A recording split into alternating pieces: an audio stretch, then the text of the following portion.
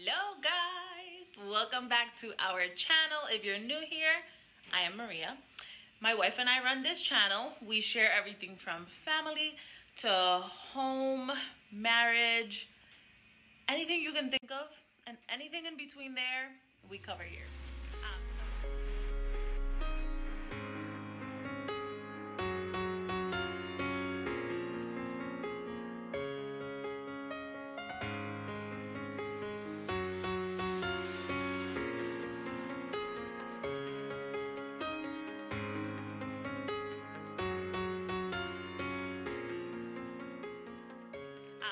Thank you for joining us.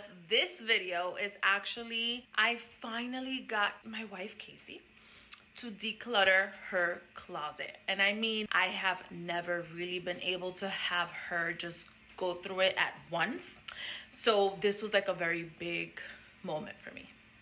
Very big moment I would never consider myself a minimalist because I am not. Now, what I would say is that I am way more conscious now about the things that I bring into my home or the things that I allow to live in my space. When you are doing this in your own space, you need to be mindful not to drag others with you. Well, try to drag others with you. Just let them do it in their own time. Literally, this was filmed on Valentine's Day. We were sitting on the couch. And Kasey was like, you know, I think it's the day. And I'm like, what do you mean? She's like, I think I'm gonna go through my closet. And I was like, really? Let's do it. Anyway, so I typically pull Marie Kondo and throw everything on the bed. Since she doesn't work that way, we took it one step at a time. I'm just going to show you guys here what that process was like. Alrighty, so obviously I started the process and thought it was for me, and then I remembered that it was actually for Kasey. so we switched the method and started going rack by rack instead of dumping everything out on the bed.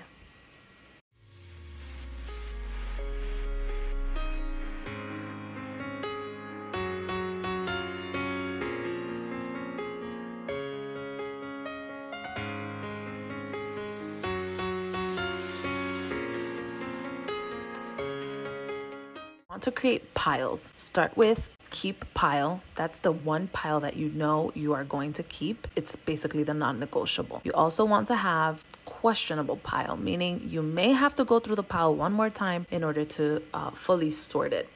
Then you also want to create a no pile. Now, this no pile is going to be separated into two groups, which means this no pile is partly for selling or giving away, and some of it will inevitably be trash because you were likely holding on to something that had no more life in it. Do not forget to recruit some help, not necessarily this kind of help, but make sure you get this kind of help.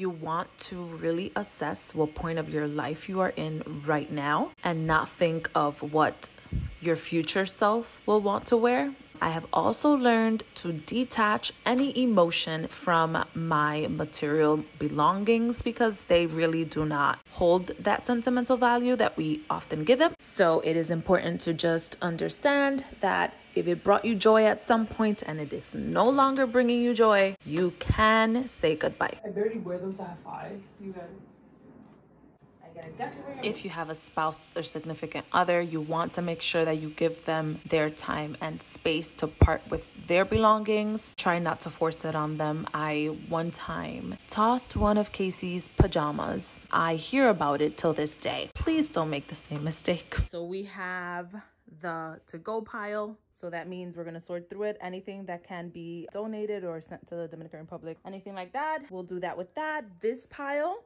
is though we still need to go over it one more time. That's my stuff, and Kasey just put back.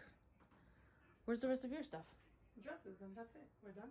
That's wait. So what? Go, what's going on there? My my clothes. So my clothes is gonna go on the top, and then I think that bottom piece will be empty. Oh my gosh. Yeah. Alrighty, guys. Let's see. Here it is. This is my sell pile. and this pile is going to be given away. I am so proud of Kasey. These are all empty hangers.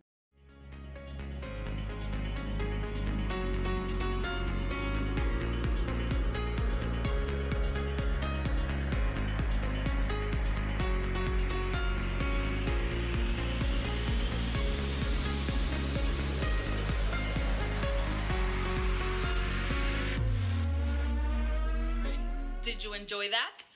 61 items taken out of our closet.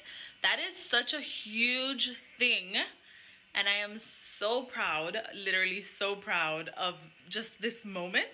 The point is, it's not not to buy things, it's to buy things that make you happy. Did you notice when she was talking about her cardigans? She said, I have five cardigans. I don't even wear cardigans that often. I have five. Those are the little things. Something else you might want to pay attention to is where you drop off your clothes. There's tons of these places that are like secondhand places. You drop them off, but they have a huge backstock and most of the things just end up in the trash anyways. So try to sell as much as you can. You can list them on Facebook Marketplace, uh, Poshmark. There's tons of different ways you can do that. Typically, even if you sell it, if you give it out for free, you'll know that it's going to be used, whether it's clothing, furniture, whatever it is, if someone takes the time to come and pick it up. So that gives it more value and you know that it'll get a little more life instead of ending up in a landfill.